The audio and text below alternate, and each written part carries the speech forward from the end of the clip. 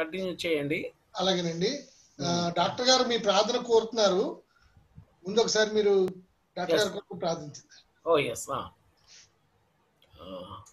పరిశుద్ధానికి స్తోత్రం చెల్లిస్తున్నాం తండ్రి. ఈరోజు లిరిక్ రైటింగ్ వర్క్షాప్లో మమ్మల్ని చేర్చినందుకు నీకు స్తోత్రం. సమయంలో కాలంలో నీ స్వాధీనం ఉన్నాయి. ఆయన మేమందరం నీ స్వాధీనంలో ఉన్నాం తండ్రి.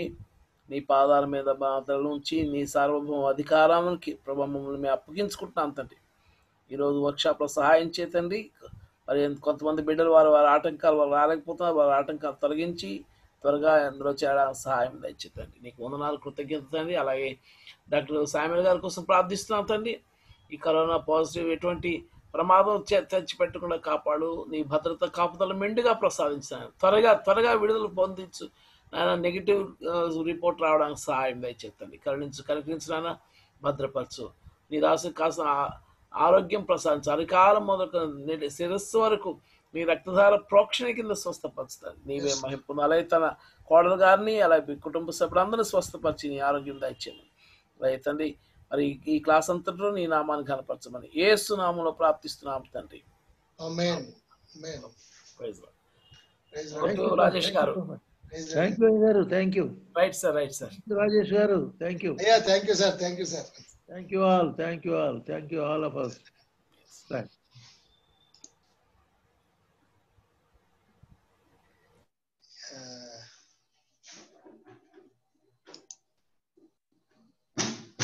sir PPT వచ్చిందండి?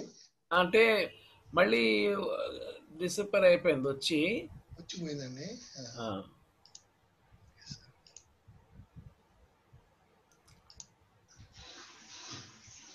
సార్ వచ్చినట్టేనండి? వచ్చింది. ఇప్పుడు మీరు ఏం చేస్తారంటే మ్యాక్సిమైజ్ కొట్టండి. ఫస్ట్ దీని మ్యాక్స్ మ్యాక్స్ మళ్ళీ మళ్ళీ క్లోజ్ అయిపోతుంది. Okay okay.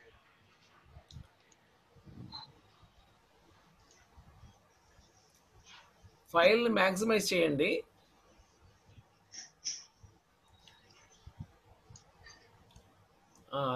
మ్యాక్సిమైజ్ చేయండి. తర్వాత ఇది కూడా మ్యాక్సిమైజ్ చేయండి. ఇక్కడ లేకపోతే నెంబర్ ఫైవ్ ఎఫ్ ఫైవ్ కొట్టండి ఫంక్షన్ ఫైవ్ ఎఫ్ ఫైవ్ మీ కీబోర్డ్లో.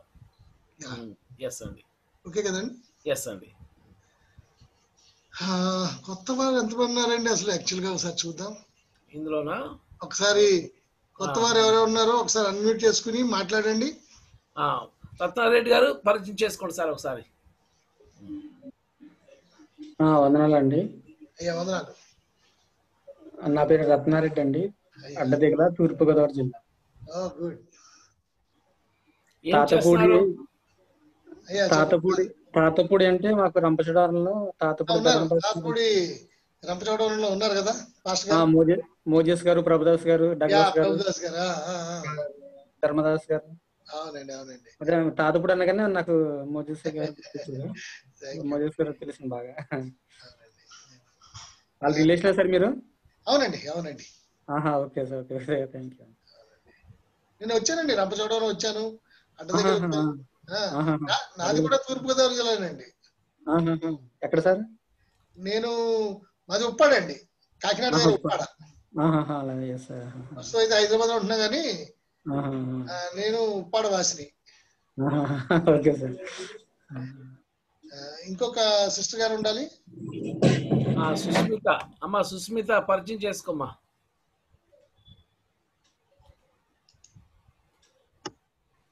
హలో. సుష్మిత గారు చెప్పండి అమ్మా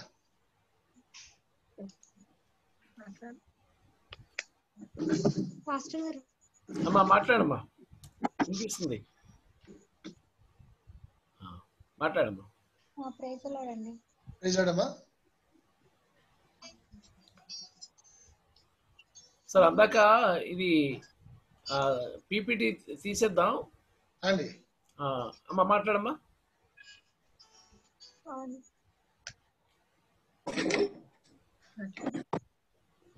అది మీ పరిచయం చేసుకోమ్మా. అమ్మా వందనాలు. చెప్పండి మీ గురించి మీ పేరు మీరు ఏ ఊర్లో ఉంటారో చెప్పండి. మైలవరం అండి. ఐలవరంలో ఉంటారు ఓకే. మైలవరం విజయవాడ దగ్గర Krishna district. Vijayawada Krishna. Okay okay. మీరు ఇప్పుడు సండే స్కూల్ టీచర్ ట్రైనింగ్లో ఉన్నట్టున్నారు కదా? అవునండి. Okay okay okay. MPharm pharmacology oh good good. Okay. మిగిలిన వాళ్ళందరూ కూడా పాతవారే? అవునండి. ఓకేనండి. ఓకే మనం క్లాస్ చూద్దామండి అయితే? ఎస్ ఎస్ సార్ మళ్ళీ ఎయిట్ అయింది వేయండి okay sir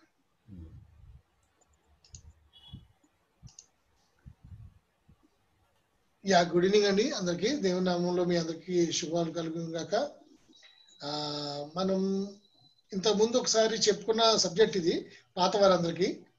అయితే ఒకసారి మీకు కూడా ఇది ఉపయోగకరంగానే ఉంటుంది. ఎందుకంటే ఒకసారి విన్న తర్వాత మనకి సర్వసాధారణంగా సెవెంటీ టూ అవర్స్లో మన బ్రెయిన్ లోంచి పోతాయి సబ్జెక్టులు. మనం ఏది విన్నా కానీ దాన్ని ఎక్కువసేపు మనం నిక్షిప్తం చేసుకోలేం బ్రెయిన్లో మరుపు అనేది దేవుడు మనకి ఇచ్చిన వరం అది ఒక్కోసారి మనకి ఇబ్బంది పెడతా ఉంటది. కాబట్టి, మర్చిపోవడం అనేది అవసరమే కానీ కొన్ని సబ్జెక్టుల విషయంలో కొంత ఏంటంటే మనకి కావాల్సిన విషయాలు మర్చిపోతుంటే ఇబ్బంది అవుతూ ఉంటది. సాధారణంగా మనిషి లిజనింగ్ కెపాసిటీ వచ్చి ఫార్టీ మినిట్స్ ఉంటుంది.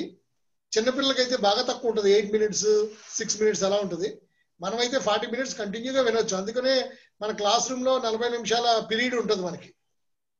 అయితే విన్న సబ్జెక్టు మనకి బ్రెయిన్లో నిక్షిప్తమై ఉండేది మాత్రం డెబ్బై రెండు గంటలు. అంతకంటే ఎక్కువ ఉండదు. ఈ డెబ్బై రెండు గంటల్లో కనుక మనం దాన్ని మళ్ళా మళ్ళా మరలా మరలా పదే పదే రివిజన్ చేసుకుంటే అది లెఫ్ట్ హెమిస్ఫియర్ నుంచి రైట్ హెమిస్ఫియర్లోకి వెళ్ళిపోతుంది. అలా వెళ్ళిపోవడం ద్వారా అక్కడ బ్యాంక్లో స్టోర్ అయిపోయినట్టు అయిపోతుంది అనమాట మన చిన్నప్పుడు మన మీ ఊరు ఏంటంటే మనం టక్కన ఎందుకు చెప్తున్నాం అంటే మన రైట్ హెమిస్ఫియర్లో రికార్డ్ అయిపోయింది అనమాట అదే మూడు రోజుల క్రితం మీ కూర ఏంటంటే చెప్పలేము మనం.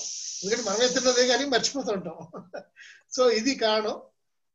ఇది ఎందుకు మాట్లాడుతున్నానంటే ఇది మనం ఒకసారి విన్నదే కానీ మర్చిపోయి ఉండొచ్చు. మరలా విందాం. రైట్.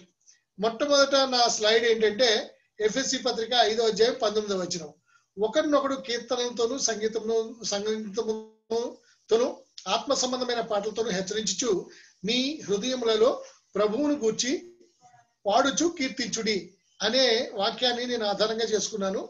మనం పాటలు రాయడం ద్వారా ప్రభువుని హెచ్చిస్తున్నాం. వాస్తవానికి ప్రభువు సంగీతానికి చాలా ఇష్టపడతాడు ప్రభు. ఒక మాటలో చెప్పాలంటే ప్రభు సంగీత ప్రియుడు. అందుకే నిత్యము దూతల స్థుతిగానాలు ఆయనకి ఉన్నాయి. ఆయన ఏర్పాటు చేసుకున్నది. దూతలు నిత్యము ఆయన్ని స్థుతిస్తూ పరిశుద్ధుడు పరిశుద్ధుడు పరిశుద్ధుడు అని ఎప్పటి నుంచి అండి?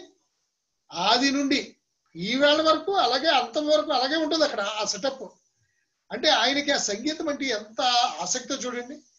అటువంటి మహాదేవునికి సంగీతం అంటే ఆసక్తి ఉన్న ఆ దేవునికి మనం మన యొక్క పాటలతో మన హృదయంతో ఆత్మతో ఆ సంగీతంతో ఆయన్ని కీర్తిస్తే అది ఆయనకి ఎంతో ఇష్టమైన ఆ, హోమంగా ఉంటుంది.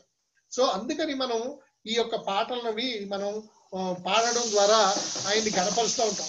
కానీ ఈ రోజుల్లో ఎలాగైపోయిందంటే ఆ, ఇప్పుడు మీ మీరు ఒక మంచి పాట పాడతారు మనం అందరం విని ఆనందిద్దాం అని అనౌన్స్మెంట్లు వస్తాయి చర్చిలో కూడా. చర్చిలో కూడా పాట పాట పాడతారు పలానా వాళ్ళు మనందరం విని ఆనందిద్దాం అంటారు విని ఆనందించే పాటలు కాదు ఇవి. దేవుని మహింపరిచే పాటలు. సో మనం దేవుని మహింపరుద్దాం పాటల ద్వారా. ఏమండి? నెక్స్ట్ ఒక్క నిమిషం అండి. విని.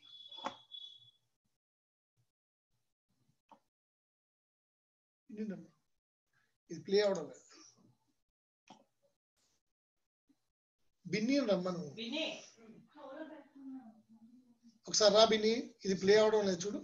ఇది నెక్స్ట్ స్లైడ్ వెళ్ళడం లేదు. సార్ మీ ల్యాప్ కీబోర్డ్ మీద డౌన్ బటన్ కొట్టండి.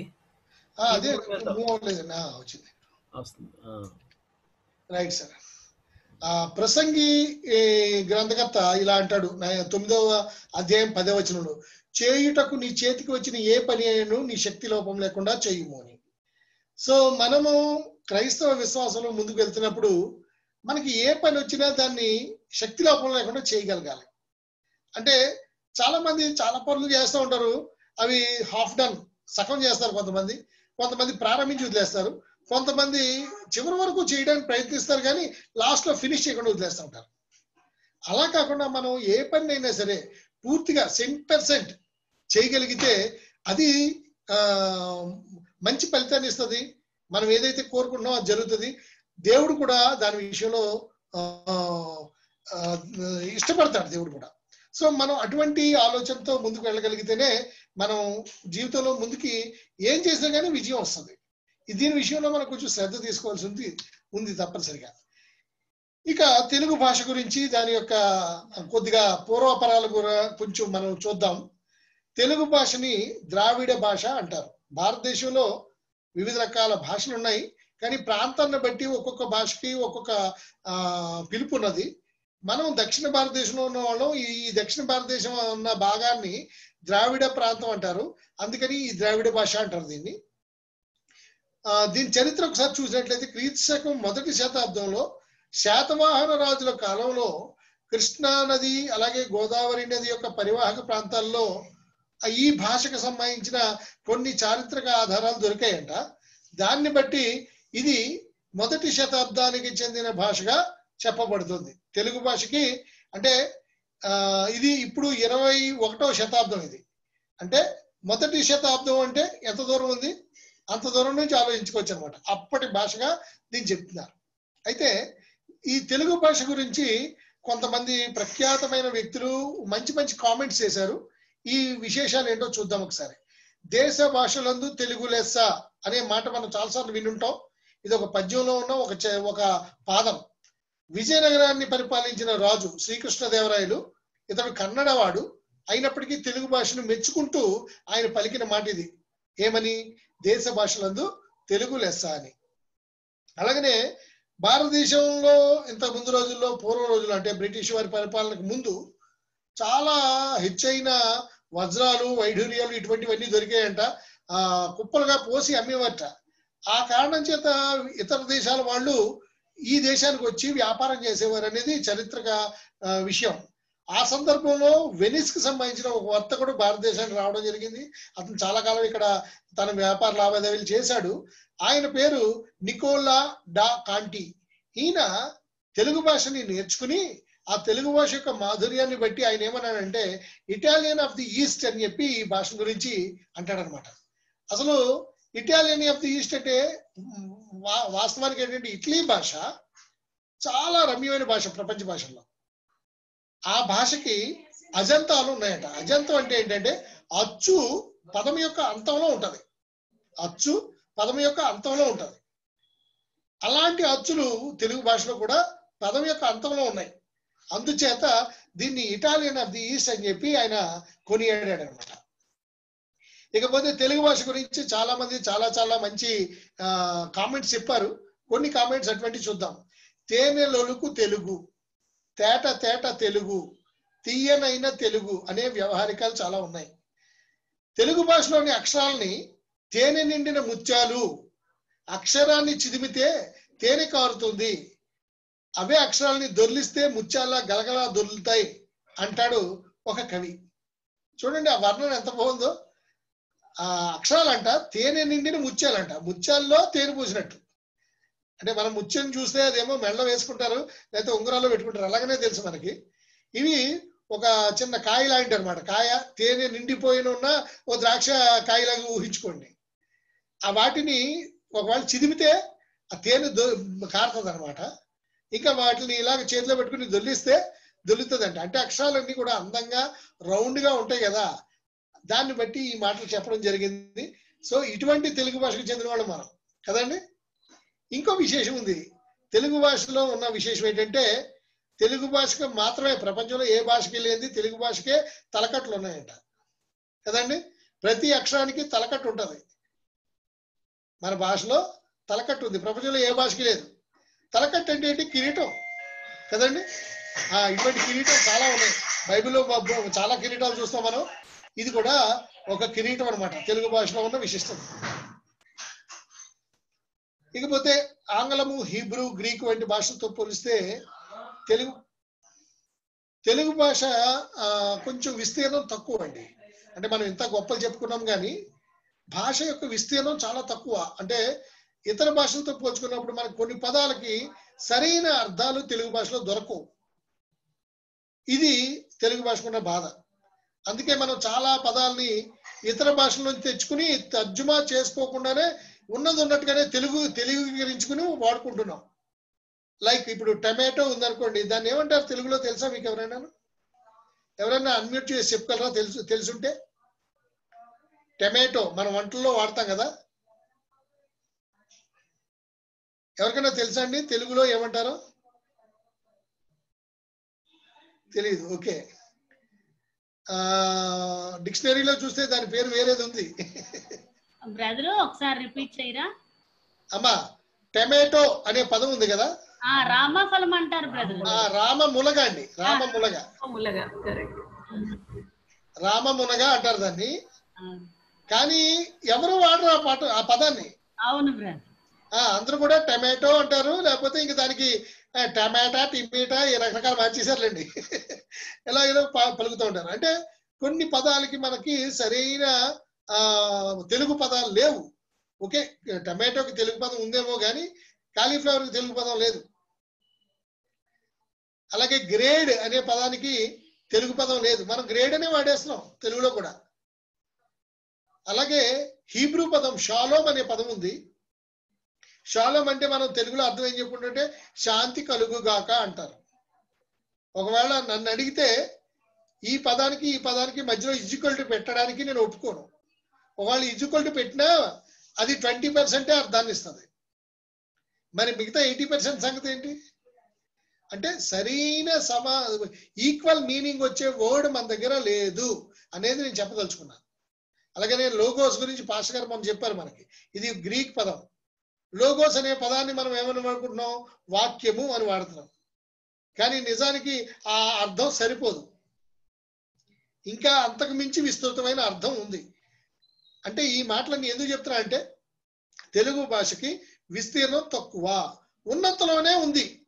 ఎందులో ఉంది అంటే తెలుగు భాష సర్వసాధారణంగా హైందవ మత సంబంధమైన భాషా పదాలతోనే ఇమిడిపోయింది. అందుచేత మనకి ఇప్పుడు దేవుణ్ణి స్వామి అని పిలవలసి వస్తుంది. దేవా నీ చెంతకు వచ్చాను నీ పాదాల దగ్గర పడ్డానంటే శరణం అని అనవలసి వస్తుంది. ఈ మా ఈ మాటలు మనం వేరే చోట విన్నప్పుడు మనకి చాలా ఇబ్బందిగా ఉంటుంది. స్వామి శరణం అన్నాడు కదా అది ఆ దేవుడికే చెల్లిందేమో మనం వాడకూడదేమో అనే భావన మనకు కలుగుతుంది. అవునండి కాదండి? సో ఇటువంటి లిమిటేషన్ ఉండడం వల్ల తెలుగు భాషలో మనం విస్తృతమైన అర్థాలతో కూడిన పదాలను మనం చేయలేము. అయినప్పటికీ మనం కొన్ని పదాలని ఆ నూతనంగా సృష్టిస్తూ పదాలు తయారు చేసుకోవచ్చు. ఇప్పుడు హల్లెలుయ అనే పదం ఉంది. దాన్ని యాజ్గా తీసుకుని వాడుకుంటున్నాం మనం. ఆమెన్ అనే పదం ఉంది. దాన్ని యాజ్గా తీసుకుని వాడుకుంటున్నాం. అలాగనే మనం క్రైస్తవ భాష కోసం క్రైస్తవ సాహిత్యం కొరకు కొన్ని పదాలని అలా వాడుకోవాల్సిన అవసరం ఏర్పడింది. మన పూర్వీకులైన ఆంధ్ర క్రైస్తవ కీర్తన రచయితలు ఎవరైతే ఉన్నారో వాళ్ళందరూ కూడా హైందవ భాషకు సంబంధించిన పదాలని విస్తృతంగా వాడారు. అలాగే సంస్కృత బాధ భాషా పదాలని విస్తృతంగా వాడారు. సో దాంట్లోంచి కొంచెం మనం బయటకు వస్తున్నాం ఈ మధ్య రోజుల్లో. ప్రయత్నిద్దాం. ఇకపోతే క్రైస్తవ విశ్వాసకి బైబిల్ ఎలాంటిదో మనం మనకి రచయితలం అవుతున్న మనకి ఆంధ్ర క్రైస్తవ కీర్తన పుస్తకం అలాంటిది. అందుకే షాలేం ఇజ్రాయల్ గారు మహర్షి గారు ఈ క్రై ఆంధ్ర క్రైస్తవ కీర్తనల్ని శాస్త్రీయమైన విధానంలో వాటిని సరిగమలతో రాస్తూ దాన్ని ఒక పుస్తకంలా సంకలనంగా చేశారు. అంతేకాదు దాని మీద వర్క్ చేస్తున్నారు. ఏమో దేవుని చిత్తమైతే అది ఒక సిలబస్గా కూడా మారబోతుంది. జరగాలని కోరుకుందాం. మీ ప్రాంతంలో జ్ఞాపకం చేసుకోండి దాన్ని. ఇకపోతే నేను బైబిల్లో ఉన్న కీర్తనకారులు కొంతమంది జ్ఞాపకం చేసుకుందాం. మనం కూడా పాటలు రాయడానికి కదండి వచ్చాం. సో మన ముందు పాటలు రాసిన వాళ్ళు ఎవరో ఒకసారి జ్ఞాపకం చేసుకుంటే ఆదాం గారు అందరికంటే ముందు పాట రాశాడు. పాట రాయలేదు పాట పాడేశాడు అంతే ఆయన. నా ఎముకల్లో ఎముక నా మాంసంలో మాంసం. అంటాడు కదండి ఆయన? నరుణ్ణి తీయబడ్డావు కనుక నారి అనబడతా ఉంటాడు. ఇది పాట. అలాగే మోషే గారు పాట రాశాడు. మిరియాము పాట రాసింది పాట పాడింది. ఆసాపు కీర్తనలు ఉన్నాయి. హన్న పాట పాడింది. దావీద్ గారు అయితే ఇంకా చెప్పక్కర్లేదు. ఈజ్ ద మాస్టర్ కింగ్ ఆయన అంతే. పాటలు రాయడంలో దావీదే నెంబర్ వన్ అనుకుంటాం మనం అంతే కదా? అలాగే సులభను కోర కుమారులు మరియమ్మ ఇంకా చాలా మంది ఉన్నారు. బైబిల్లో పాటలు రాసిన వాళ్ళు చాలా మంది ఉన్నారు. నేను కొంతమంది పేర్లే ఇక్కడ మీకు మెన్షన్ చేశాను. ఆంధ్ర క్రైస్తవ కీర్తనలు రాసిన వాగ్గేయకారులు చాలా మంది ఉన్నారు. వాగ్గేయకారుడు అంటే ఎవరంటే ఈ విషయాలు కొంచెం తెలుసుకోవాలి. వాగ్గేయకారుడు అనే మాట కూడా తెలుసుకోవాలి. ఏంటంటే ఎవరైతే పాట రచించి దానికి సంగీతం సమకూర్చి దాన్ని గానం చేస్తారో అంటే ఈ మూడు ప్రక్రియలు ఎవరైతే చేస్తారో వారిని వాగ్గేయకారులు అంటారు. మన గ్రూప్లో వాగ్గేయకారులు కొంతమంది ఉన్నారు షాలేం ఇజ్రాయెల్ గారు. ఆయన పాట రాస్తారు ఆయనే ట్యూన్ చేస్తారు ఆయనే పాడతారు. అలాగే ఆనంద్ బ్రదర్ ఉన్నాడు ఆయన పాట రాసుకుంటాడు ఆయనే ట్యూన్ చేస్తాడు ఆయనే పాడతాడు. అలాగే అఖిల్ ఉన్నాడు అఖిల్ కూడా తన పాట రాశాడు ట్యూన్ చేసుకున్నాడు ఆయనే పాడాడు. ఇంకా ఉన్నారు అందరూ ఉన్నారు చాలా మంది ఉన్నారు. ఈ వీళ్ళని మనం వాగ్గేయకారులని గుర్తిస్తూ ఉంటాం. సో ప్రతి వారిలోనూ అన్ని టాలెంట్లు ఉండాలని చెప్పడం లేదు కానీ ఒకవేళ దేవుడు మనకి ఇస్తే మాత్రం దాన్ని మనం ఇంప్రూవ్ చేసుకోవాల్సింది. సాన పట్టాలి కదండి దేనైనా సరే. దీపం ఉందని చెప్పి కొంచెం కింద కదా పెట్టేది. దాని దీపస్తంభం మీద కదా పెట్టాలి. వాక్యం అదే కదా చెప్తుంది మనకి. సో మనం మన దగ్గర ఉన్న సబ్జెక్ట్ని మనం దాన్ని కొంచెం పాలిష్ చేసి దాన్ని పది మందికి కనపడేలా చేస్తే తద్వారా ప్రభు కార్యం జరుగుతుంది. ఆంధ్రకేశ్వర కీర్తన రాసిన దాంట్లో పురుషోత్తం చౌదరి గారిని పెద్దగా మనం చెప్పుకుంటాం.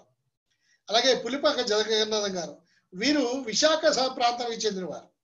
బేతాళ్ జాన్ గారు అలాగే ముంగమూరు దేవదాస్ గారు బొంతా సమీయల్ గారు మల్లెల దావేద్ గారు వీళ్ళందరూ కూడా గుంటూరు ప్రాంతానికి చెందిన కవులు చెట్టి భానుమూర్తి గారు కాకినాడ వారు. ఏబి మాసిలమ్మణి గారు మనకు బాగా తెలుసు. ఎందుకంటే నడిపించినానో పాట బాగా పాపులర్ కదా. ఆయనది పిఠాపురం. అలాగే మిక్కిలి సమీల్ గారు ఉన్నారు దేవసాయం గారు ఉన్నారు. తర్వాత ఏపీ కిన్సింగ్ గారు గారు ఆయన మొన్నటి వరకు బ్రతికే ఉన్నారు. ఆయన ఏలూరు. ఇక రావూరి బ్రదర్స్ రావూరి ఫ్యామిలీ కొంతమంది ఉన్నారు. వీళ్ళందరూ కూడా నెల్లూరు వాళ్ళు. రంగయ్య గారు లక్ష్మయ్య గారు వీళ్ళిద్దరు పాటలు బాగా తెలుసు మనకి. ఇలాంటిదా యేసు ప్రేమ? కదండి? ఎంత మధురంగా ఉంటుందో. ఆ ఆ విషయం అంతా తెలుసుకుంటే ఆ పాట గురించిన చరిత్ర తెలుసుకున్నప్పుడు బా ఒళ్ళు పొలకించిపోతూ ఉంటుంది ఇటువంటి మహామహా వాగ్గేయకారులు రచించిన కీర్తనలు ఆంధ్ర క్రైస్తవ కీర్తనలో మనకు ఒక గైడ్ లా ఉన్నాయి. ఆ గైడ్ని మనం ఎదురుగుండా పెట్టుకుని ఆ పాటలు చదువుకుంటూ అందులో ఉన్న సాహిత్యాన్ని కానీ గ్రహించి అందులో ఉన్న రాగాల్ని గ్రహించి ఆ పాటల యొక్క విధానాన్ని గ్రహించి దాంట్లో ఉన్న భావాన్ని గ్రహించి మనం కనుక పాటలు రాయగలిగితే ఉత్తమమైన పాటలు మనం కూడా రాయగలుగుతాం. ఆధునిక కవులు అంటే ఈ రోజుల్లో ఉన్న కవుల్లో కొంతమంది పేర్లు చెప్పుకుందాం. రావెల్ జోసెఫ్ గారు మొన్న మన వర్క్ వచ్చారు. షాలేం ఇజ్రాయల్ గారు ఈ ప్రోగ్రాం నడిపిస్తున్నారు. తాతపూడి జ్యోతిబాబు గారు హైదరాబాద్లో ఉండేవారు. చనిపోయారు ప్రభు నిద్రించారు ఆయన. ఆయన కూడా చాలా మంచి పాటలు రాశాడు. ఆకుమర్తి డానియల్ గారు మన మధ్యకి వచ్చారు ఆయన. ఆకుమర్తి సామియల్ గారు మొన్న మన మధ్యకి రావాల్సింది రాలేకపోయారు కానీ మ్యూజిక్ క్లాస్కి వచ్చారు ఆయన. చాలా చక్కని పాటలు రాశారు ఆయన. అలాగే ఏఆర్ స్టీవెన్సన్ గారు. ఆయన కూడా మన వర్క్షాప్కి వచ్చారు. ఎన్నో పాటలు రాసిన వారు వీళ్ళందరూ కూడా. ఆధునిక కవులు. అంటే నేను చెప్పిన పేర్లు తక్కువ. ఇంకా చాలా మంది ఉన్నారు. నేను కొద్దిమంది పేర్లు మాత్రం ఉటంకించాను ఇకపోతే భారత తెలుగు ఏదైనా ఒక భాష ఆ భాష మీద పట్టు సంపాదించడం అనే విషయానికి వస్తే మాజీ ప్రధానమంత్రి పివి నరసింహరావు గారు పద్నాలుగు భాషలు మాట్లాడి ఉంటారు. చాలా గ్రేట్గా చెప్పుకునే వాళ్ళం కదా. పివి నరసింహరావు గారు అంటే అమ్మ బాబోయ్ అనేవాళ్ళం. ఆయన పద్నాలుగు భాషల్లో మాట్లాడటమే కాదు కవిత్వాలు కూడా రాసేవట. ఓసారి ఎవరో బీబీసీ వాళ్ళు ఎవరో కానీ ఇంటర్వ్యూ చేస్తే ఆయన సీక్రెట్ చెప్పాడు. ఏంటంటే ఏ భాషలో అయినా కనీసం మూడు వేల పదాలు కనుక మనకి వస్తే ఆ భాష మీద మనం మాట్లాడేయచ్చు అని చెప్పి ఒక సీక్రెట్ చెప్పాడు ఆయన. కనీసం మూడు వేల పదాలు మూడు వేల పదాలు వస్తేనట ఆ భాష మీద పట్టు వచ్చేస్తుందంట మనం మాట్లాడేయచ్చట. ఒకవేళ మూడు వేల కంటే ఎక్కువ పదాలు వస్తే కవిత్వాలు కూడా రాసేయచ్చు అనమాట అంతే కదండి? ఇప్పుడు మనం ఆ పని మీద ఉన్నాం. రచన చేద్దామనే పని మీద ఉన్నాం. తెలుగు భాషలో మనకు మూడు వేల పదాలు అండి ముప్పై వేల పదాలు వచ్చు. కాబట్టి we are qualified to write songs పాటలు రాయడానికి మనం అర్హులము అని చెప్పడం నా ఉద్దేశం. ఏమండి? రైట్ ఇక పాట రాయబోతున్నాం మనం. ఈ పాట యొక్క లక్షణాలు ఎలా ఉండాలి ఏంటి అనే సంగతి ఒకసారి చూద్దాం. పాటకి పల్లవి అనేది ప్రాణం. మనం పాట రాసేటప్పుడు పల్లవిని చాలా శ్రద్ధగా చక్కటి పదాలతో అందంగా తీర్చిదిద్ది రాయాలి దానికి నేనేమంటానంటే బాహ్యంగా అంతర్గతంగా పాటని పెళ్ళి కుమార్తెలాగా ముస్తాబు చేయాలి అలంకరించాలి అన్నాను. పెళ్ళి కుమార్తెని ఎంత అలా ముస్తాబు చేస్తామండి? నల్లని అమ్మాయి కూడా ఆ ఒక్కరోజు ఎంత తెల్ల కనపడుతుందో ఎంత సుందరంగా కనపడుతుందో కదండి? అంటే మనం పాటలో పల్లవిని అంత అందంగా ముస్తాబు చేయాలి అనేది గ్రహించడం కోసం ఈ మాట చెప్తున్నాను. అలాగే పాట రాసినప్పుడు పాటలోని పదాలు తేలికైన పదాలు వాడండి. అలతి అలతి పదాలతో పాట రాయడం అవసరం. మనం కఠినమైన పదాలు రాయవలసిన ఆ అవసరత ఈ రోజుల్లో అయితే లేదు. ఎందుకంటే కఠినమైన పదాలు మీరు రాసినా వాటి అర్థాలు కూడా మళ్ళీ చెప్పుకుంటూ వెళ్ళాలి వెనకాల. జనాలు అంత ఓపిక లేని ప్రజలు అయిపోయారు ఈ రోజుల్లో. అంతా టీవీ కమ్యూనికేషన్ కదండి. ఈ మోడర్న్ టెక్నాలజీ. చేతిలో రిమోట్ ఉంటుంది స్కిప్ చేస్తారు. మన పాట వాళ్ళకి అర్థం కాకపోతే వెంటనే వేరే ఛానల్లోకి వెళ్ళిపోతారు. కాబట్టి అటువంటి పరిస్థితి రాకుండా ఉండాలంటే మన పదాలు అవతల వాళ్ళకి అర్థమయ్యేలాంటి పదాలు అయితే మంచిది. అటువంటి పదాలతో రాస్తే మంచిది అనేది నా సూచన. తర్వాత పాట ఎవరిని సంబోధిస్తుందో చివరి వరకు అదే కొనసాగించాలి. ఈ మాట నిన్న వర్క్షాప్లో షాలేం ఇజ్రాయల్ గారు కూడా మీకు చాలా క్లియర్గా చెప్పుంటారు. ఫర్ ఎగ్జాంపుల్ మీరు దేవుని స్థుతిస్తూ పాట రాస్తున్నారు. ఆరాధన దేవునికి అంటున్నారు. మధ్యలో నువ్వు చేసావా నీవు చెయ్యి అని చెప్పి చెప్పారనుకోండి. అంటే దేవుడు ఏమంటున్నావా లేకపోతే పట్టణం వాడిని ఏమంటున్నావా అర్థం కాదు అక్కడ. కాబట్టి ఏదైతే ఎవరినైతే మనం కాన్సన్ట్రేట్ చేసాం ఫస్ట్ అదే సెన్స్లో ముందుకు పాట వెళ్ళిపోవాలి. దీని విషయంలో శ్రద్ధ వహించండి. ఒకవేళ ప్రజలందరికీ చెప్తున్నారు అనుకోండి ప్రజలకే చెప్పండి. లేకపోతే మీ మనసుకు మీరు చెప్పుకున్నారు అనుకోండి మీకు మీరే చెప్పుకోండి. లేకపోతే పక్కవాడికి చెప్తున్నారు పక్కవాడికి చెప్పినట్టు చెప్పండి. కానీ ఆ డైరెక్షన్స్ మారిపోవద్దు. పాట మొత్తంలో అదే డైరెక్షన్ ఉంచండి. ఇది పాటించవలసిన నియమం. తర్వాత మీరు పాట రాసేటప్పుడు తీసుకోవాల్సిన ఆధారాలు ఏంటో ఏదో ఒక సపోర్ట్ తీసుకుని మనం పాట రాస్తాం. ఏమండి ఒక మొక్కను పెంచుతున్నప్పుడు కూడా దానికి ఒక కట్టి పెడతాం కదండి. మన బాడీ ఇలా నిలబడిందంటే లోపల ఎముకల యొక్క గూడు ఉంది స్కెల్టెన్ కదా? దానివల్లే మన బాడీ అంతా స్టిఫ్గా నిలబడుతుంది. లోపల ఒక ఆధారం ఉండాలి మనకి. ఈ ఇలాంటి ఆధారం ఎక్కడి నుంచి తెచ్చుకుంటామంటే తీసుకోండి పాత కీర్తన ఏదైనా తీసుకోండి దాన్ని ఆధారంగా చేసుకోండి. లేదా బైబిల్లో ఉన్న నూట యాభై కీర్తనలు ఆధారంగా తీసుకోవచ్చు. లేదు కంఠత వాక్యాన్ని ఒకటి దాన్ని తీసుకుని దాన్నే పాటగా మలుచుకోవడానికి ఆధారంగా చేసుకోండి. అంటే మీరు ఫ్రేమ్ అవుట్ అయిపోకుండా ఉండడానికి ఇది ఎంతో ఉపయోగపడుతుంది. మీ ఆలోచన విస్తృతంగా బయటికి వెళ్ళిపోయి ఎక్కడెక్కడికో వెళ్ళిపోయి ఏదేదో ఆలోచించేసి ఏదేదో రాసేయక్కర్లేదు అంశానికి కట్టుబడి ఉంటే అది అందంగా వస్తుంది. అందుకని అంశాన్ని తీసుకోమంటుంట అలాగే మీకు ప్రతి సంవత్సరం ముప్పై ఒకటో తారీఖు నాడు డిసెంబర్ ముప్పై ఒకటి నాడు వాగ్దానాలు తీసుకునే అలవాటు ఉంటుంది చాలా మందికి చాలా చర్చస్లో. ఆ వాగ్దానం మిమ్మల్ని ఎంతో బలపరుస్తూ ఉంటా ఉంటుంది. ఇదిగోండి పాస్ గారు ఈ సంవత్సరం నాకు వచ్చిన వాగ్దానం ఇదండి. దేవుడు నెరవేర్చాడండి నాకు అని చెప్పి ఎంతో సంతోషపడతా ఉంటారు. ఓకే ఆ వాగ్దానం మీద పాట రాయండి. దేవుడు ఎలా నెరవేర్చాడో దాని గురించి వర్ణించి రాయండి. అలాగే మనకి ఆదరణ కలిగించే వాక్యాలు బైబిల్లో ఎన్నో సార్లు దొరుకుతూ ఉంటాయి. మనం చదువుకుంటూ వెళ్ళిపోతూ ఉంటాం. మన డైలీ క్వైట్ టైం చేసినప్పుడు మనకు కొన్ని మన పోర్షన్ చదువుతూ ఉంటాం బైబిల్. ఉన్నట్టుండి ఆ ఆ ఎప్పటి నుంచో ఏదో బాధ మూలుగు మన లోపల ఉంటుంది. ఆ బాధలో ఉంటూనే ఈ బైబిల్ చదువుతున్నప్పుడు సడన్గా దేవుడు మనతో మాట్లాడినట్టుగా కనపడుతుంది ఆ పదం ఆ వాక్యం. ఆ వాక్యం మిమ్మల్ని తట్టింది అంటే దాన్నే ఆధారంగా చేసుకుని పాట రాయండి. అంతేకాదు దేవుడు ప్రభు చెప్పిన ఉపమానాలు ఎన్నో ఉన్నాయి. అట్లా పాటగా రాసుకోవచ్చు. అంటే వస్తువు ఏదో పాటకి ఒక వస్తువు ఉండాలి. వస్తువు అంటే దాన్ని ఆధారం అంటున్నాం. ఈ ఆధారం అనేది ఎప్పుడైతే తీసుకున్నారో దాన్ని బేస్ చేసి మీరు పాట రాసినప్పుడు పాట బలంగా నిలబడుతుంది. పాటలో ఆ శక్తి కనబడుతుంది ప్రజలకు కూడా కన్వే అవుతుంది. ఇది మీరు శ్రద్ధ తీసుకోవాలి. అంతే తప్పించి కాసేపు పైన స్థుతి గురించి రాసి కాసేపు పాపం గురించి రాసి ఇంకోటి ఏదో రాసి. అంటే దీనికి దీనికి రిలేషన్ ఉండదు. పైన స్థుతి గురించి రాసిన తర్వాత తర్వాత పాపం గురించి రాస్తే ఏముంటుంది దాంట్లో? మన ప్రా- పాట స్థుతి అంటే స్థుతిలోనే వెళ్ళాలి. లేదు పాప పశ్చాత్తాపం అనుకోండి పశ్చాత్తాపం గురించి క్రీస్తు శ్రమల గురించి రాస్తే శ్రమల గురించి రాయండి. అలా సబ్జెక్ట్ని బేస్ చేసుకుని వెళ్తేనే మంచిది. ఈ విషయంలో మనం చాలా జాగ్రత్తగా పాటించాలి అనేది ఈ యొక్క పాయింట్లన్నీ కూడా మీకు జ్ఞాపకం చేస్తున్నాను ఇకపోతే మనం వినే ప్రసంగాల్ని పాటలుగా మలుచుకోవచ్చు. ఇది నా వ్యక్తిగత అనుభవం. నేను ఎనభై తొమ్మిదో సంవత్సరంలో ప్రభువుని విశ్వసించడం జరిగింది. మారుమన్ సమయంలోకి వచ్చాను. పుట్టింది క్రైస్తవ కుటుంబంలో అయినప్పటికీ దేవుని పూర్తిగా తెలుసుకున్నది లేకపోతే ఎన్కౌంటర్ జరిగింది. నాకు దేవునితో ఎన్కౌంటర్ జరిగింది మాత్రం ఎనభై తొమ్మిదో సంవత్సరంలో. అప్పటి వరకు నేను ఎలాంటి వాడిని అంటే అన్ని చర్చ్ యాక్టివిటీస్ చేస్తాను. ప్రసంగం టయానికి మాత్రం చర్చ్లో కనపడను. ఎందుకంటే మా బ్యాచ్ అందరూ బయటకు పోతారు వాళ్ళతో పాటు నేను కూడా బయటకు వెళ్ళిపోవాలి. ప్రసంగం మనకు సంబంధం లేనిది అనుకునేవాడిని నేను. కానీ ఎప్పుడైతే ప్రభువు నన్ను సంధించాడో ప్రసంగంలో ఉన్న మాధుర్యం నాకు తెలియడం మొదలుపెట్టింది. ఒక్కొక్క ప్రసంగం ఏంటంటే ఎంతో బాగుండేది. కానీ రెండు రోజులకి మూడు రోజులకి ఆ ప్రసంగం మర్చిపోయేవాడిని. ఇదేంటి ఇంత బాగున్న ప్రసంగాన్ని మర్చిపోతున్నాను ఏంటి అనుకుని ఏం చేస్తే బాగుంటుందని ఆలోచన చేస్తే నాకు అప్పుడు గుర్తొచ్చింది ఏంటంటే పాటలు. పాటలో పుస్తకం లేకుండా పాడేయగలుగుతున్నాం కదా. మరి ఈ ప్రసంగాలు ఎందుకు మర్చిపోతున్నాం ఇది కూడా మర్చిపోకుండా ఉండాలంటే పాటల రూపంలో మంచుకుంటే బాగుంటుంది కదా అని రాయడం మొదలుపెట్టాను. ఆ రకంగా దేవుడు నన్ను బలపరిచి ఎన్నో పాటలు ఎన్నో పాటలు ఇచ్చాడు నాకు దేవుడు. ఒక్కొక్క సంవత్సరం ఒక రెండు వందల పాటలు నూట యాభై పాటలు అలాగా రాసుకునేవాడిని. అంటే విన్న ప్రతి ప్రసంగాన్ని పాటగా మలుచుకుంటానే వెళ్ళాను.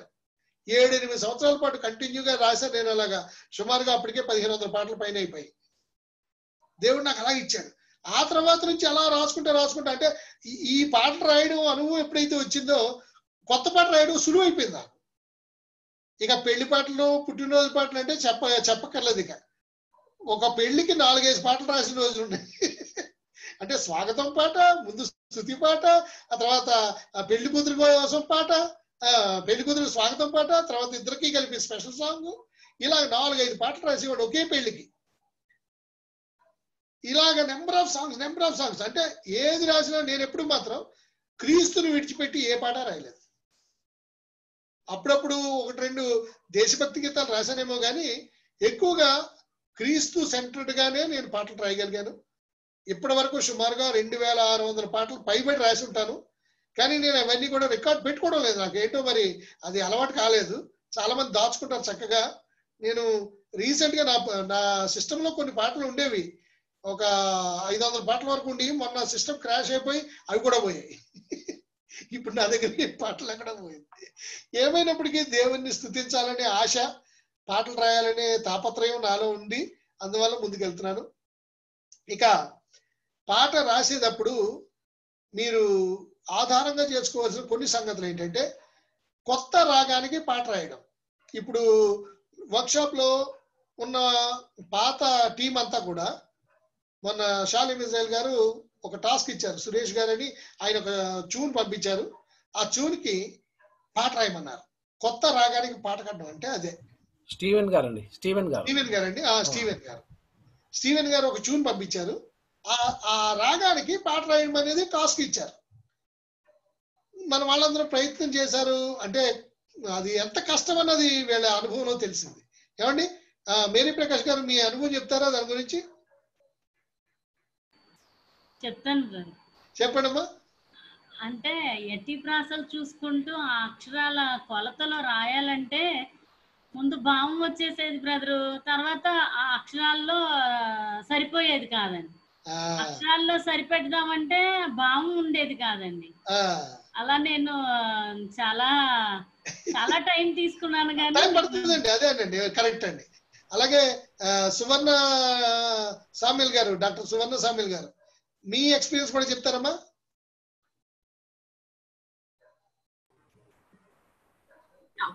అండి నాకు కూడా చాలా కష్టమైంది రాయటానికి. అమ్మా. సిస్టర్ చెప్పినట్లుగా నంబర్ అయితే సెట్ అవ్వలేదండి. థర్టీన్ టు ఈక్వల్ ఈక్వల్గా రాలేదు. ఒకసారి సిక్స్టీన్ నంబర్స్ ఉంటే లెటర్స్ ఉంటే కింద వచ్చేసి ఫోర్టీన్ నంబర్స్ అట్లా రావటం. కరెక్ట్ పదాలు అక్కడ ఫిక్స్ చేయలేకపోవటం అట్లా కొంచెం కష్టంగానే అనిపించింది. పదం మారుద్దామంటే అర్థం పోతుంది. అర్థం పోతుంది. లేకపోతే లెంత్గా రావటం సెంటెన్స్ లెంత్గా ఉండ- ఉండటం అట్లా అనిపించిందండి. అవునమ్మా అవునమ్మా. సో అంటే కొత్త రాగానికి పాట రాయడం అనేది కొంచెం కష్టమైన పనే. కానీ దాన్ని మనం ఆకలింపు చేసుకుని అలవాటు చేసుకుని అనుభవంలోకి తెచ్చుకుంటే మెల్లమెల్లగా మెల్లమెల్లగా రాయగలుగుతాం. అసాధ్యమైతే కాదండి. సాధ్యమే. షాలెం ఇజ్రాయల్ గారు దాన్ని సాధ్యం చేసి చూపించారు. అరగంటలో పాట రాసి పంపించారు ఆయన. కదండి? అప్పుడు మనందరం ఓ ఇలాగా అబ్బా ఇలా అయితే నేను రాయద్దు కదా అనిపించింది వాళ్ళ అంటే వారికి తెలిసిన ఆ గుట్టు మీకు తెలియలేదు అంతే సమస్య. ఆ గుట్టు మీకు తెలిసింది అనుకోండి మీరే రాయిస్తారు ఇప్పుడు షాలమేజ్ గారు రాసిన పాట ఆ పాట చూడగానే ఇప్పుడు మీరు నాలుగు జెండాలు రాయమంటే నాలుగు రాయ- రాయగలరు మీరు. అంటే ఆ సీక్రెట్ మీకు అర్థమైపోయింది. మేరీ గారు రాశారండి మేరీ గారు ఆ. అదండి అలాగే రాసిన పాటకి రాగం కట్టించడం. మీరు ముందు రాసేయచ్చు స్వేచ్ఛగా. ఇక రాగం ఉండదు ఏముండదు మీరు ఏదో రాసేస్తారు కొన్ని పదాలు. వాటికి రాగం కడతారు. అప్పుడు శ్రమ శ్రమంత సంగీత మాస్టర్ గారిది. ఎందుకంటే ఆయన దాని కొలతలు ఏమి ఎక్కువ తక్కువలు అయితే ఇబ్బంది పడతాడు. సో దాని విషయంలో కూడా మనం సరైన లెంగ్త్లో రాయగలిగితే వారికి కూడా శ్రమ లేకుండా ఉంటుంది. ఒకవేళ శ్రమించామనుకోండి ఆయన మళ్ళీ మనల్ని పిలిచి ఏమండి ఈ పదం ఇక్కడ బాగోలేదు ఈ పదాన్ని మార్చండి అంటారు. అప్పటికప్పుడు మళ్ళీ మీకు పని పడుతుంది. సో ఇది ఒక విధానం. ఇంకోటి ఏంటంటే మీరు పాత పాట ఏదో ఒకటి తీసుకోండి. ఫర్ ఎగ్జాంపుల్ నడిపించడానమే ఉంది. ఆ ట్యూన్లో మీరు మనసులో అనుకుంటూ దాని మీద పాట రాయండి. అప్పుడు మీకు ఏమవుతుందంటే కొత్తగా దానికి రాగం కట్టితే కొత్త పాట అయిపోద్ది. మీకు అక్కడికి ఆల్రెడీ స్కేల్ ఒకటి దొరికింది. ఆ స్కేల్ మీద పెట్టారన్నమాట అక్షరాలని. కరెక్ట్ లెంగ్త్లో ఉంటాయి ఇవి. ఇప్పుడు రాగం కట్టుకుంటే కొత్త పాట అవుతుంది. ఇది చక్కగా మీకు ఉపయోగపడుతుంది. అలాగే ఇతర భాషల్లో ఉన్న మనకి ఇంప్రెసివ్ సాంగ్స్ ఉంటాయి. ఇప్పుడు తమిళ పాటలు యూట్యూబ్లో బోర్డు దొరుకుతాయి మలయాళం పాటలు దొరుకుతాయి హిందీ పాటలు దొరుకుతూ ఉంటాయి బోర్డు పాటలు ఉంటాయి. అవి వినగానే భలే అనిపిస్తుంది పాట. బా ఎంత బాగుందో ఈ పాట అని. ఏం మరి మన భాషలో లేదు కదా ఆ పాట? యా భాషలో లేదు కాబట్టి దానికి మనం రాద్దాం. అదే ట్యూన్లో రాద్దాం. రికార్డ్ చేసుకుందాం. కదండి? అప్పుడు మనం కొత్త పాట ఇచ్చినట్టు అవుద్ది. మనం చిన్నప్పుడు హిందీ పాటలు తమిళ పాటలు నేర్పించేవారు. సండే స్కూల్లో చర్చిలోకి వచ్చి. అసలు అర్థమేం తెలియదు ఆయిరం ఆయిరం పాడుంగళే ఏదో నేర్పించారు. మాకేం తెలియదు అలాగే పాడాం. ఏంటండి ఆ పాట? అర్థం ఏంటి అంటే ఏమో తెలియదు ఇంకా పాడి పాడి పాడి పాడి చూడు అలవాటు అయిపోయింది దాన్ని తెలుగులో రాయడం మొదలుపెట్టాం. ఏమో అందులో ఉన్న భాషా భావం వేరేమో. మన పాట వేరేమో. కానీ చూను అయితే మాత్రం మనకు వచ్చింది. ఇలాంటి ప్రయోగాలు మనం చేయడం ద్వారా మనం పాటలు బాగా రాయడానికి ఆస్కారం ఏర్పడుతుందండి. అలాగే మనం ట్యూన్ కావాల్సిన మ్యూజిక్ అనేది సంగీత విద్వాంసులు చేస్తారు. లేకపోతే మనకి నెట్లో కూడా మనం ట్రై చేసుకోవచ్చు తీసుకోవచ్చు. ఆ మ్యూజిక్ అనేది ఉండడం వల్ల పాట అందంగా ఉంటుంది. మన స్వరం పాటకి ప్రధానం. అన్నిటికంటే ముందు సా పాటకి ప్రధానమైంది సాహిత్యమేనండి. సాహిత్యమే ప్రాణం దానికి. సంగీతం అనేది దానికి యాడింగ్ అంతే. ఇక సంగీతంతో పాటు గాత్రం. ఇది ఇంకా కొంచెం ఎడిషనల్. కానీ ప్రధానమైంది మాత్రం సాహిత్యమే. ఎందుచేతంటే అందులోనే అక్షరాలు ఉన్నాయి పదాలు ఉన్నాయి భాష ఉంది. అందులో మీరు చెప్పే సందేశం ఉంది. ఆ సందేశం ముందుకెళ్తుంది. అది వాక్యం సంబంధమైన సందేశం అయితే హృదయాల్ని తాకుతుంది మారు అనుభవంలోకి నడిపిస్తుంది. కదండి? కాబట్టి మనం చాలా శ్రద్ధ వహించి ఈ పాటలు రాయాలి. పాటను తీసుకున్నప్పుడు అంశాలను బట్టి మనం పాట రాయొచ్చు. నేను కొన్ని అంశాలు ఇక్కడ మీకు చెప్తున్నాను. పేతురు పశ్చాత్తాపడిన సందర్భం తీసుకోండి. ప్రభు మూడు సార్లు నువ్వు బొంకుతావయ్యా అని చెప్పాడు. ఆయన మూడు సార్లు అబద్ధం ఆడేశాడు. కోడి కూసింది. అప్పుడు ప్రభువు చూపు ఒక్క చూపు అలా చూశాడు. వెంటనే అయ్యో అనుకున్నాడు పేతురు. ఆ స్పాట్లో పేతురు హృదయం ఎలా ఉండుంటది అనేది మీరు ఊహించుకుని మీరే పేతురు అయిపోండి అప్పుడు. మీరే ఆ సందర్భంలో పేతురు అయిపోండి. యేసు దృష్టి మీ మీద పడింది. ఆ చూపులో మీ పశ్చాత్తాపం కనబడింది. ఇప్పుడు మీ పాట రాయండి. అద్భుతమైన పాట వస్తుంది. అంటే ఆ అనుభవంలోకి వెళ్తే పాటలు వస్తాయి. అలాగే ముళ్ళ కిరీటం. యేసుప్రభుని ఎత్తిపోయి పెట్టారు కదా ముళ్ళ కిరీటం? అది గుచ్చుకుంది ప్రభువుకి. రక్తం కార్చారు. సో ఇప్పుడు మీరు కిరీటం అయిపోండి. మీరే ముళ్ళ కిరీటం మీరు గుచ్చిన ముళ్ళుతోనే ప్రభువుకు రక్తం వస్తుంది. దాన్ని ఊహించుకుని రాయండి. ఎంత బాగుంటుందో. లేకపోతే కొన్ని రిఫరెన్స్లు తీసుకుని కౌన్ దృష్టి అనే సబ్జెక్ట్ మీద బోల్డ్ అని టాపిక్లు ఉంటాయి. బైబిల్లో బోల్డ్ రెఫరెన్సెస్ ఉంటాయి. అది తీసుకుని రాయండి. అలాగే ఏసయ పాదాలు అనే సబ్జెక్ట్ తీసుకోండి. ఏసయ పాదాలు ఎక్కడ నడిచాయో ఎక్కడ పరిగెట్టాయో ఎక్కడ ఏ దేన్ని తాకాయో లేకపోతే ఆఖరి ఆ చివరిలో సిలువులో ఎలా రక్తం కార్చాయో వీటి గురించి వర్ణిస్తూ ఓ మా పాట రాయండి. అలా మీరు సబ్జెక్ట్ తీసుకోండి. సబ్జెక్ట్ తీసుకుని పాట రాస్తే ఎంతో గొప్పగా ఉంటుందండి. ఇప్పుడు చూడండి పది మంది కుష్ఠరోగుల్లో తిరిగి వచ్చిన కుష్ఠరోగి ఒక ఆయన ఉంటాడు. తొమ్మిది మంది వెళ్ళిపోతారు. ప్రభు అడుగుతాడు ఏరి మిగతా తొమ్మిది మంది అని. పాపం వాళ్ళు సిన్సియర్గా ప్రభు చెప్పిన మాట విని ఫాలో అయిపోతున్నారు. ఏమని? యాజకులు చూపించుకోవడానికి వెళ్ళిపోతున్నారు. అంటే వాళ్ళు ఒబీడియంట్ గానే ఉన్నారు. విధేయత కలిగి ఉన్నారు. ఎటు వచ్చి వాళ్ళకి లేనిది ఏంటంటే కృతజ్ఞత. స్వస్థత పొందారు. విధేయత కలిగి ఉన్నారు. కృతజ్ఞత లేకుండా ఉన్నారు. ఈ మూడు పదాలు వాడండి. స్వస్థత విధేయత కృతజ్ఞత. పల్లవిలో వాడి పాట రాయండి. అద్భుతమైన పాట వస్తుంది కదా? రైమింగ్ కూడా బాగుంది కదా పదాలు? స్వస్థత విధేయత కృతజ్ఞత.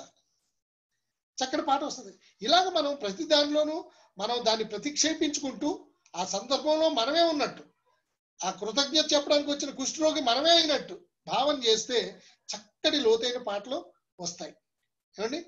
ఇంకా చాలా అంశాలు ఉన్నాయి. అయితే ఎయిట్ థర్టీ అయింది. మరి పాష గారు?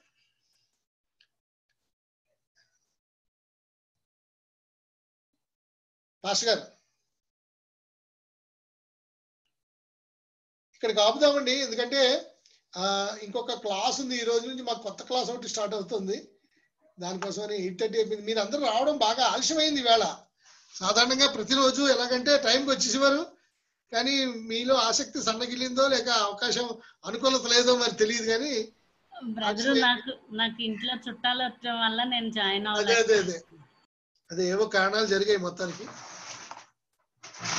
పాస్టర్ గారండి. పాస్టర్ గారు బయటకు వెళ్ళినట్టున్నారు.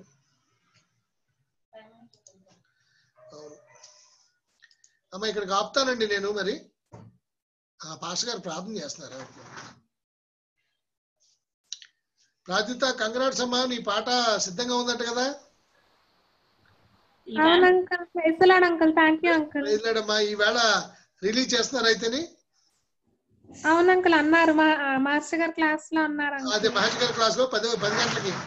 ఇవాళ టెన్ ఓ క్లాక్ రిలీజ్ చేద్దాం అంటున్నారు. అవును అంకుల్. ఓకే.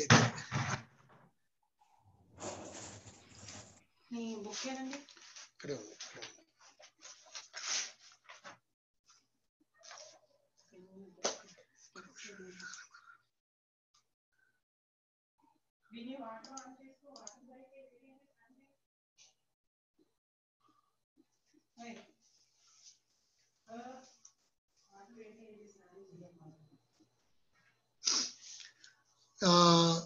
ఇప్పటి వరకు నేను చెప్పిన టాపిక్ మీరు దృష్టించండి దీన్ని కొంచెం మీ మనసులో పెట్టుకోండి. ఇది మళ్ళీ మీకు రా లింక్ పంపిస్తారు కదా యూట్యూబ్ లింక్ పంపిస్తారు కదా మరొకసారి చూడండి. విన్న పాయింట్లే కానీ మరలా కొత్తగా ఉంటాయి. ఏమో నేను మొన్న ఫస్ట్ టూ టైమ్స్ ప్రజెంట్ చేసిన దానికన్నా ఈవేళ ఇంకో రకంగా ప్రజెంట్ చేసానేమో అనుకుంటున్నాను కూడా. అంటే దేవుని నడిపింపు అలా ఉంటుంది. మొన్న టాపిక్ కన్నా ఈవేళ కొంచెం డిఫరెంట్గా ఉందని నాకే అనిపిస్తుంది మరి. ఆధారం అయ్యే సబ్జెక్ట్ అదే కానీ వివరణ మారినట్టుగా అనిపిస్తుంది. కాబట్టి మరొకసారి మీరు పునఃసరణ చేయండి. ఇది మీ అందరికీ కూడా ఇంకా పాటలు రాయడంలో బాగా దోహదపడుతుందని అనుకుంటున్నాను. మిగతా బాగానే రేపు షేర్ చేసుకుందాం. రేపు నేను చెప్తాను మిగతా కంటిన్యూ చేస్తాను. పాస్ గారు ఎవరితోనో ఫోన్లో మాట్లాడుతూ ప్రార్థన చేస్తున్నారు.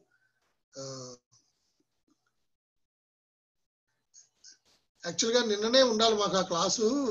మేము నిన్న కొంచెం బిజీ ఉండడం చేత ఈవేళ మా కోసం మార్చారు వాళ్ళు. నేను టైంకి వెళ్ళకపోతే బాగుదని క్లోజ్ చేస్తున్నా అన్నమాట.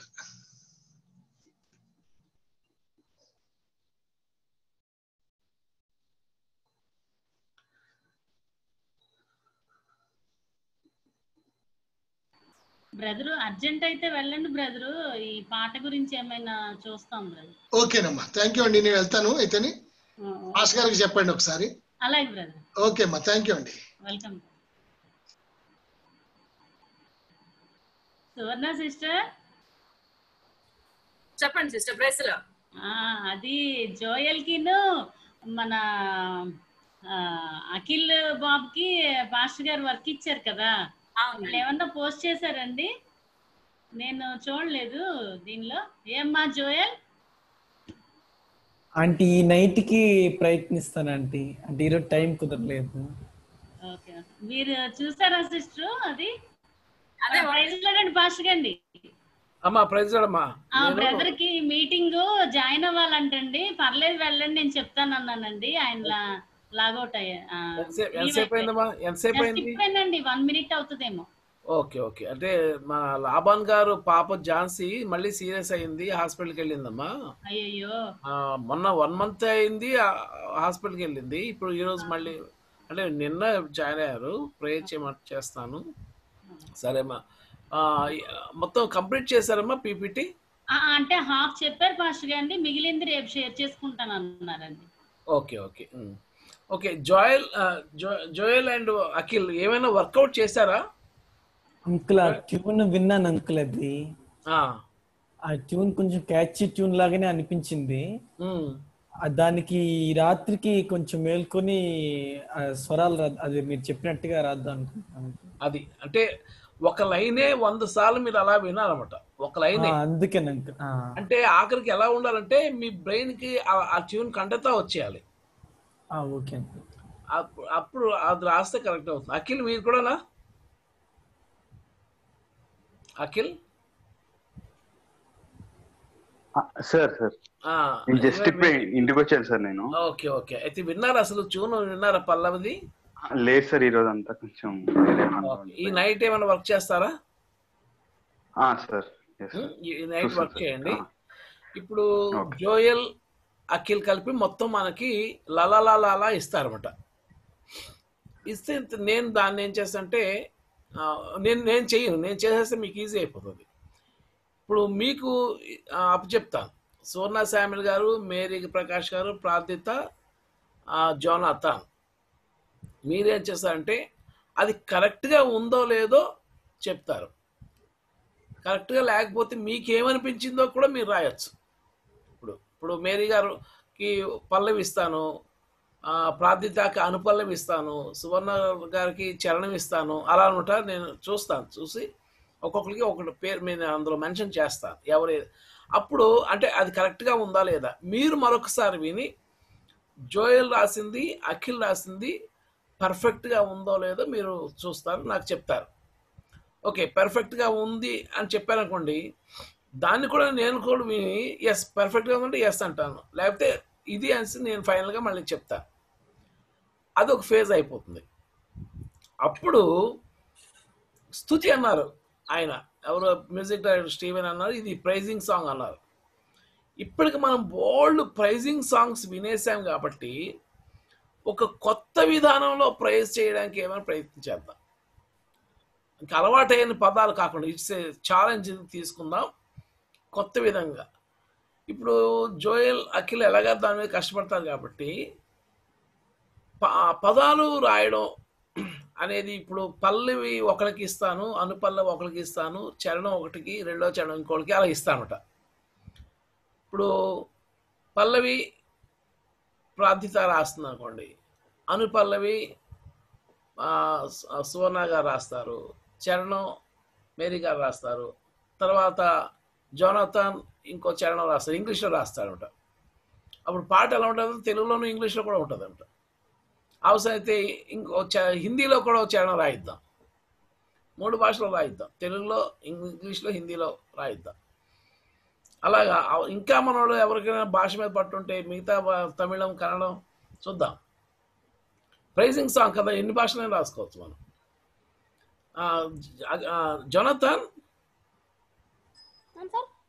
మీకు ఇంకేం లాంగ్వేజ్ వచ్చు? తెలుగు ఇంగ్లీష్ కాకుండా? సార్ నేను ఇప్పుడు ప్రస్తుతానికి ఫ్రెంచ్ నేర్చుకుంటున్నాను సార్ ఏమిటి? ఏం ఏం నేర్చుకుంటున్నావు? ఫ్రెంచ్ ఫ్రెంచ్ బాబోయ్! ఫ్రెంచ్లో రాస్తాడు కావా జోనథన్ ఎక్కడికి వెళ్ళిపోతాడేమోనమ్మా పెద్ద అయ్యేసరికి కరెక్ట్ మనకు అందుబాటులో ఉంటాడో లేదో మరి. ఏ చదువుతున్నాడు జోనతన్ ఏ క్లాస్? మేడం నేను fourth grade madam. Wow very good. French వాళ్ళకు కూడా స్వార్థ ప్రకటిస్తాడు అంకుల్. ఫ్రెంచ్ ఎందుకు నేర్చుకుంటున్నావు? What's the purpose of learning that language అయినా సార్ థర్డ్ లాంగ్వేజ్ కోసం ఫ్రెంచ్ తీసుకుంటారు సార్ లాంగ్వేజ్ కోసం ఫ్రెంచ్ అనే ఆప్షన్ పెట్టిండ్రు. నాకు తెలుగు నా అమ్మమ్మ గారు నేర్పిస్తారు. కాబట్టి నేను ఫ్రెండ్స్ నా స్కూల్ ద్వారా నేర్చుకుంటా. ఇప్పుడు అట్లేదు సార్. ఇప్పుడు నా ఇప్పుడు ప్రస్తుతానికి కాస్త టెంపరీ క్లోజ్ అయింది. ఎందుకంటే నా ఎగ్జామ్స్ కొన్నిసార్లు అవుతున్నాయి సార్. ఇయర్లీ మంత్లో ఒకసారి ఎండింగ్లో అవుతుంది. ఇంకా బిగినింగ్లో అందుకే కాస్త ఎగ్జామ్స్ అప్పుడు అవుతున్నాయి. అందుకే టెంపరీగా క్లోజ్ చేసింది ఓకే.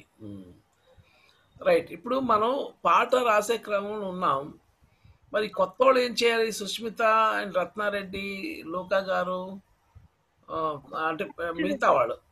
వాళ్ళకి ఏదో ఒక పని చెప్పాలి కదా. ప్రస్తుతానికి ప్రార్థన చేయండి. సుస్మిత రత్నారెడ్డి గారు లోకా గారు మీరు ఏం చేస్తారంటే ఈ టీం కోసం ప్రార్థన చేయండి. అలాగే అండి.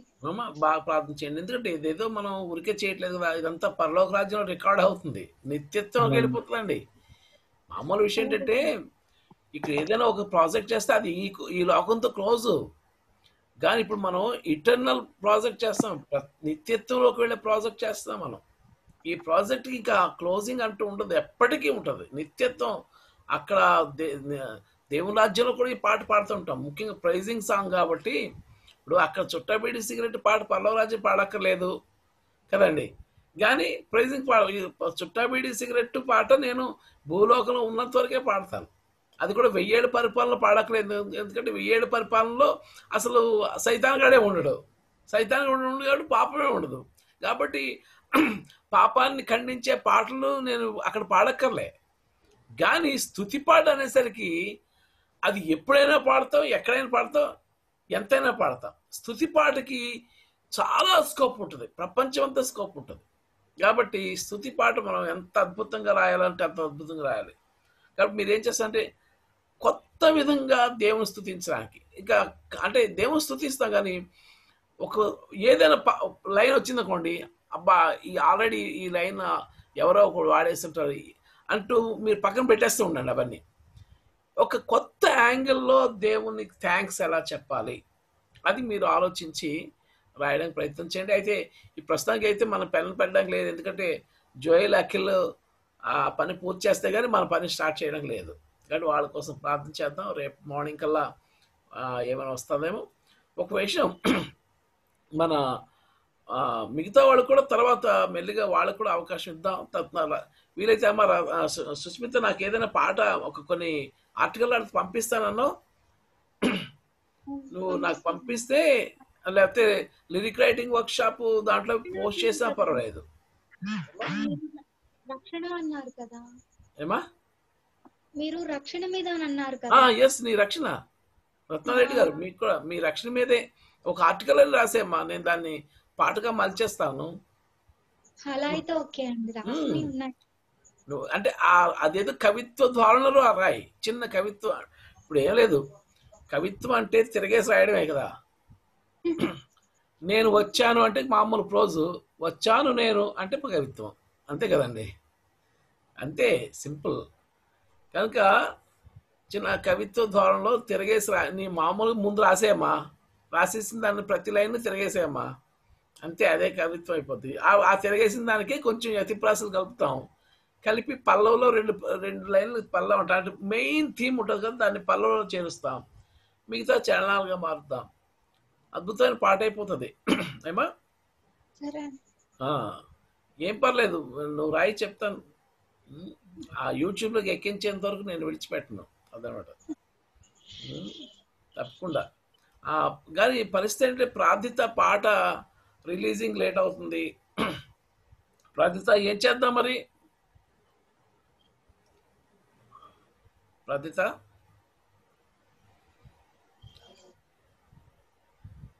రైట్ అమ్మా. ఒక పని చేద్దాం. మరి ఈరోజు మహర్షి గారి క్లాసులో రిలీజ్ చేద్దామా? నైన్ థర్టీకి. అంకుల్ పర్వాలేదు మండే చేసుకుందాం అంకుల్. ఓ ఎస్ ఓకే అలానే. మండే చేద్దాం. మండే అయినా ఇక్కడ తక్కువ మంది వస్తున్నారు కాబట్టి మహర్షి గారి క్లాస్లోనే చేద్దామా? ఓకే అండి. మండే నైన్ థర్టీకి. అమ్మ మెరుగా నేను ఎంతసేపు ఎంత- ఎంతవరకు ఉన్నారు క్లాస్లో సంగీతం క్లాస్లో? నేను టెన్ వరకు దగ్గర ఉన్నాను పాస్టర్ గాండి అయితే చాలా ఇంట్రెస్టింగ్ అనిపించింది పాస్టర్ గాండి కంటిన్యూ చేయలేకపోతున్నా. నాకు వీలైనప్పుడల్లా కూర్చోవాలని అయితే తీర్మానం చేసుకున్నాను ఆ, కూర్చోండి. తర్వాత యూట్యూబ్ వీడియోస్ కూడా మీరు అలా వినొచ్చు కదమ్మా. అవును గారు. ఉమ్, లేకపోతే మీరు ఫేస్బుక్లో ఇప్పుడు నేను ఫేస్బుక్లో పోస్ట్ చేస్తాను కదమ్మా. అవునండి. మీరు ఫేస్బుక్ పెట్టేసుకోండి. అంటే మీరు కనబడకపోయినా మేమందరం మీకు కనిపిస్తుంటాం కదా. అవును అవును పాస్టర్ అది అదొక ఫెసిలిటీ ఉంది ఇప్పుడు మనకి. నా స్టేటస్లో పెడుతుంటాను. ఏమా ఉపయోగం ఉంటదని నిన్న అది చూశాక అర్థమైంది పాస్టర్ గారిది. చాలా ఉంటుందమ్మా బాబోయ్. మహర్షి గారి క్లాస్ ఒకటి ఉంది ఆ తాళ ప్రక్రియని ఆయన్ని కూడా ఒకసారి రివైజ్ చేయమని చెప్తాను. రత్నారెడ్డి గారికి సుస్మితకి ఉపయోగపడుతుంది. చాలా అద్భుతమైన విషయాలు ఆయన ఆయన పీపీటీ కూడా ఒకటి ఉంది. ఎప్పుడో ఈ మధ్య పిలుస్తాను. తప్పకుండా అమ్మా. సంగీతం అది చాలా ఉపయోగం. ముఖ్యంగా లిరిక్ రైటర్స్ చాలా ఉపయోగం అమ్మా. ఇంకోటి ఏంటంటే ఆయన ఆల్రెడీ పాటలు నేర్పిస్తారు కదమ్మా. ఆ పదాలన్నీ మన బ్రెయిన్కి అలవాటు అవుతాయి. ఆ ఆంధ్ర క్రైస్తవ కీర్తన మన బ్రెయిన్కి అలవాటు అయితే రాసినప్పుడు అవే రిపీ- మనకి ఎక్కడో తగులుతుంటాయి. చక్కగా. అది. రైట్ అమ్మా ప్రేయర్ చేసి క్లోజ్ చేద్దాం. మన సుస్మిత ప్రార్థన చేస్తుంది మన కోసం. అమ్మా.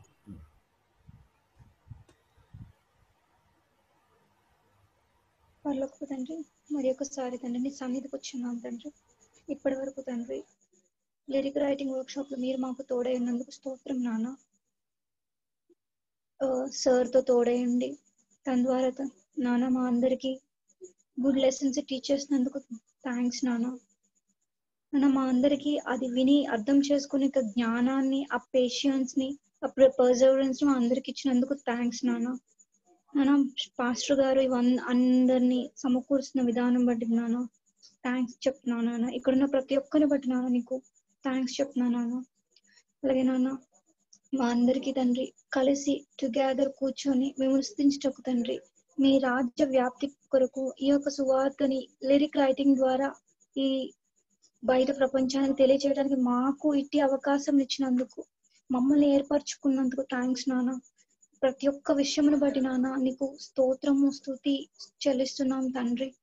మరి ఒక్కసారి నాన్న స్టార్టింగ్ నుంచి ఎండింగ్ వరకు నీ యొక్క స్పిరిట్ నీ యొక్క గ్రేస్ మా పట్ల ఉంచి ఎవ్రీథింగ్ ఎవ్రీ ప్రోగ్రామ్ని సక్సెస్ చేసి మమ్మల్ని బ్లెస్ చేస్తున్నందుకు మీకే థ్యాంక్స్ చెప్తూ ప్రతి ఒక్కరిని బ్లెస్ చేయమని నాన్న నేను సన్నిధిలో కోరుతూ మరి ఒక్కసారి మీ నామములకు స్థుతి స్తోత్రం చెల్లిస్తూ ఈ ప్రార్థన ఏ నామంలో మీకు సమర్పిస్తున్నాను తండ్రి. ఆమెన్. ఆమెన్. పరమ తండ్రి యొక్క ప్రేమ మన రక్షకుడైన యేసుక్రీస్తు యొక్క అద్భుతమైన కృప పరిశుద్ధాత్మ దేవునికి అన్యోన్య సహవాసము శాంతి సమాధానములు మనందరికీ మన మన కుటుంబాలకు సదాకాలం తోడండి వర్ధిల్ల చేయనుగాక. అమ్మా. All the best prize రాడమ్మా